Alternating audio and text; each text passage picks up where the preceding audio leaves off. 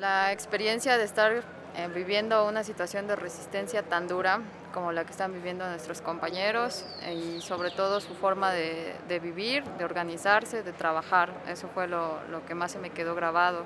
Particularmente la experiencia de las mujeres que se la pasan todo el día, desde el amanecer hasta que acaba el día, en labores este, del campo, en labores aparte del hogar y aparte en labores de la crianza. Como que nuestro contacto fue particularmente con las mujeres, porque dentro de esa comunidad están los colectivos que hacen telar de cintura y se mueven a través de este ay, de cooperativa para bajar a vender aquí a San Cristóbal. Entonces, pues ahí nos tocó visitar a esas compañeras y ver que pues, es una labor bastante difícil y de repente te sorprende ver que aquí la artesanía es tan económica cuando ellas se pasan haciendo un telar en una semana, ¿no? Entonces, son cosas que más que aprender no las aprendes, simplemente son para reflexionar, porque pues, realmente no aprendes, solo vas a ver que, que está muy dura la forma en que se le están pasando aquí.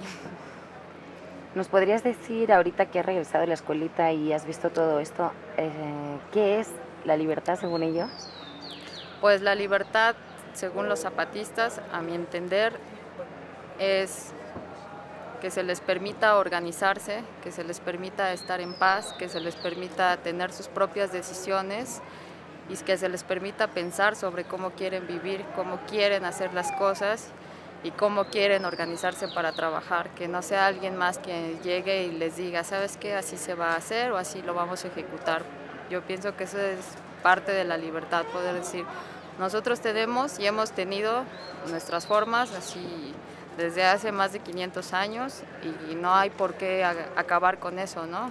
Simplemente si desde otro, desde lo que ellos llaman el mal gobierno, quieren eh, meternos como en este sistema económico, nosotros no estamos de acuerdo, ¿no? Entonces queremos vivir en paz, pero seguir trabajando y seguir siendo gente productiva y demostrarle al mundo que, pues que aquí estamos y no solo como en presencia, sino aquí estamos trabajando, aquí nos estamos organizando, pensando, también algo que me llama mucho la atención de esta libertad es que, por ejemplo, yo tenía la idea de la religión, me llamaba mucho la atención eso de, cómo ellos viven la religión y cuando vas ahí ves que siguen creyendo, siguen siendo varios católicos, ¿no? sus imágenes guadalupanas. Es algo que dices, pues sí, o sea, no son elementos que tengan que ir así desunidos a esta causa, ¿no? Simplemente es decir, también esto entra y no hay problema, ¿no? O sea, eso no va a acabar con nuestra autonomía ni con nuestra forma de vivir. Entonces yo pienso que es más que nada eso, simplemente decirle a los que no han sabido hacer las cosas, ¿saben qué? Pues ya, ya estuvo, nosotros podemos hacerlo a nuestra manera y con lo que hemos organizado desde, pues desde que nos asentamos aquí, ¿no? Como núcleos humanos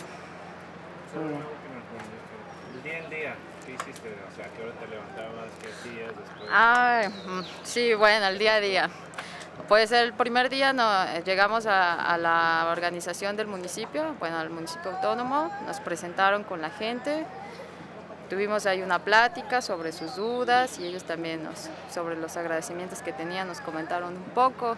Después en, en el segundo día visitamos los talleres de, de costura de las compañeras, Ah, más o menos, bueno, en la montaña están diferidas las horas, mientras aquí son las 8, allá son las 6, entonces más o menos nuestro trabajo empezaba a las 8 de la mañana, lo que aquí viene siendo las 6. Entonces, este, ellas sí, bueno, nos llevaban para allá em, a verlas trabajar. También nos llevaron a, este, a un cafetal, estuvimos haciendo limpieza.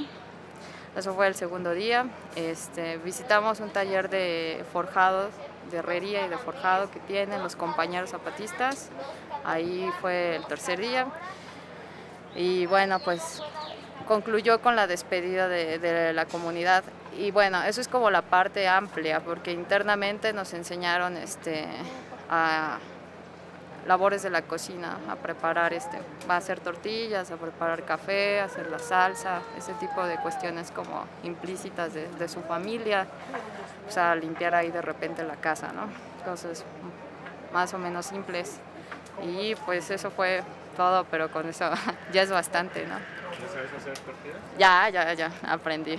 A la décima tortilla ya me salió, pero, pero me quedaron bien. Sí.